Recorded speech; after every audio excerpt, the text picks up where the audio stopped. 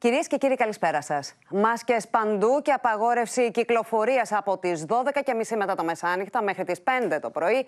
Τα νέα περιοριστικά μέτρα που τέθηκαν από σήμερα σε ισχύ στις πορτοκαλί και κόκκινες περιοχές.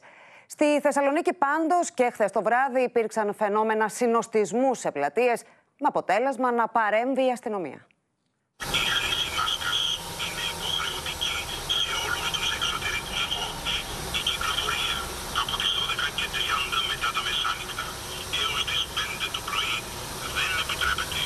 Περιπολικά της αστυνομίας ενημερώνουν τους πολίτες στο κέντρο της Θεσσαλονίκης για τα νέα μέτρα που ισχύουν από τα ξημερώματα.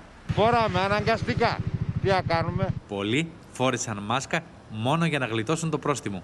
Αντί να πληρώσουμε 150 ευρώ για ένα μεροκάμα, το φοράμε αναγκαστικά. Χθες βράδυ, τελευταία νύχτα πριν από την εφαρμογή της απαγόρευσης κυκλοφορίας, αστυνομικοί απομάκρυναν νεαρούς από διάφορες πλατείες όπου παρατηρήθηκε συνοστισμός. Από τις 6 σήμερα το πρωί είναι υποχρεωτική η χρήση μάσκας παντού στις περιφερειακές ενότητες που βρίσκονται σε κόκκινο και πορτοκαλί συναγερμό. Ανάμεσά τους η Αττική, η Θεσσαλονίκη και οι Σέρες που είναι στο επίπεδο της αυξημένης επιτήρησης, η Κοζάνη και η Καστοριά που έχουν τεθεί ήδη σε επίπεδο αυξημένου κινδύνου. Σε όλες τις πορτοκαλί και κόκκινες περιοχές, η χρήση μάσκας είναι υποχρεωτική και στα διαλύματα στα σχολεία. Από την υποχρεωτική χρήση μάσκας εξαιρείται η γυμναστική και γενικά η άσκηση των πολιτών, αλλά και όσοι βρίσκονται μόνοι τους στο αυτοκίνητο ή με συγγενεί πρώτου βαθμού. Είναι μερικά άτομα, ένα 10 με 20% του πληθυσμού, που είναι υπεύθυνοι για το 80% των μεταδόσεων. Είναι αυτοί που λέγονται υπερμεταδότες. Χθες η χώρα κατέγραψε 841 νέα κρούσματα.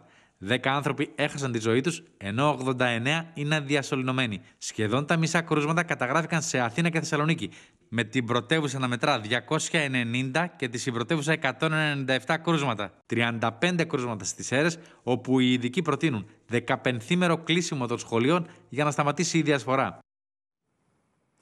Το ένα μετά το άλλο σπάνε τα αρνητικά ρεκόρ για την Ευρώπη, με αποτέλεσμα πολλές χώρες να καταφεύγουν ξανά στο μέτρο της απαγόρευσης κυκλοφορίας για την αναχέτηση της πανδημίας. Στην Νάπολη, πάντως, οι κάτοικοι βγήκαν εξαγριωμένοι στους δρόμους, όπου και συγκρούστηκαν με τις αστυνομικές δυνάμεις.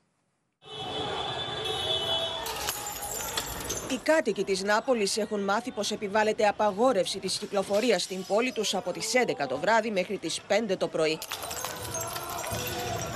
Εξαγριωμένοι έχουν βγει στους δρόμους και είναι και σπάνε ό,τι βρουν μπροστά τους. Πετούν πέτρες στους αστυνομικούς που απαντούν με δακρυγόνα και πλαστικές σφαίρες.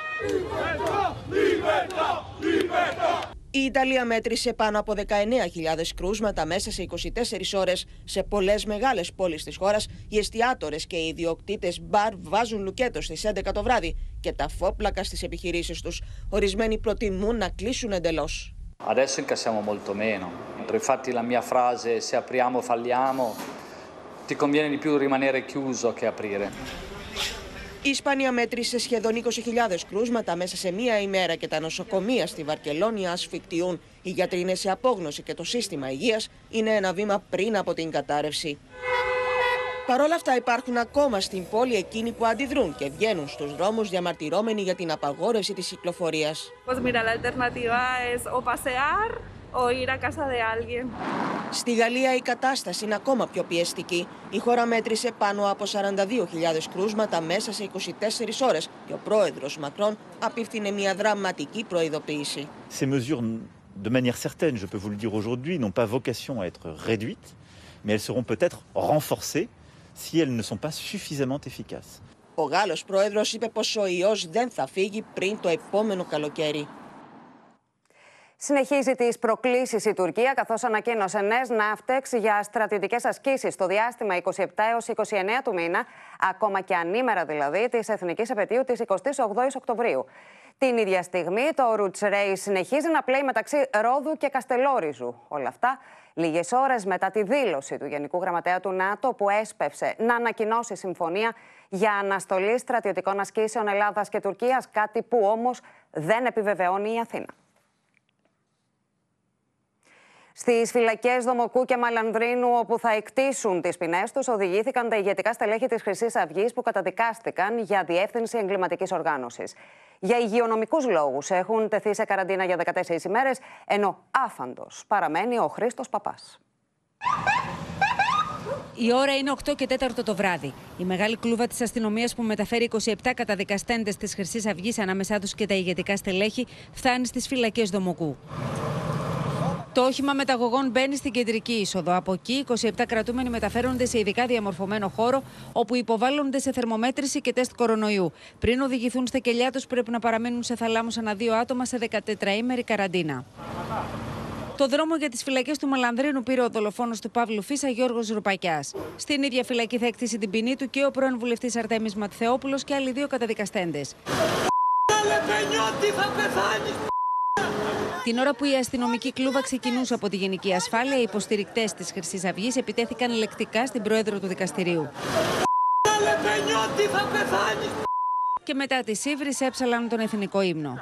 Άφαντος παραμένει ο υπαρχικός της εγκληματικής οργάνωσης Χρήστος Παπάς. Εκείνος λέει το εξής. Εάν εκτίσω αυτή τη στιγμή την ποινή που μου είχε επιβληθεί πρωτόδικα, θα την έχω εκτίσει εξ ολοκλήρου μέχρι να εκδοθεί απόφαση του Δευτεροβαθμίου Δικαστηρίου. Την ίδια ώρα, το αίτημα για άρση της ασυλίας του Γιάννη Λαγού από τις ελληνικές αρχές έφτασε χθες βράδυ στον πρόεδρο του Ευρωκοινοβουλίου. Σύμφωνα με πληροφορίες, το αίτημα θα εξεταστεί σε περίπου ένα μήνα από την Επιτροπή Νομικών Υποθέσεων, που είναι αρμόδια για την άρση της ασυλίας, η οποία και θα διαβιβάσει το πόρισμά της στην Ολομέλεια του Ευρωκοινοβουλίου, που θα έχει και τον τελικό λόγο. Μία ώρα πίσω πρέπει να γυρίσουμε τα ρολόγια μας από αύριο τα ξημερώματα λόγω της αλλαγής από τη θερινή στη χειμερινή ώρα. Έτσι, στις 4 το πρωί δείκτες θα πρέπει να μετακινηθούν κατά μία ώρα και να δείξουν 3. Πιθανώς είναι η προτελευταία φορά που γυρίζουμε τα ρολόγια μας, καθώς οι αλλαγές ώρας αναμένεται να τερματιστούν το 2021 μετά από απόφαση του Ευρωπαϊκού Κοινοβουλίου. Και στο σημείο αυτό το δελτίο μας ολοκληρώθηκε όλη η επικαιρότητα αναλυτικά στο κεντρικό δελτίο του Open στις 7 παρα 10 με τον Γιάννη Παπαδόπουλο. Καλό απόγευμα σε όλους.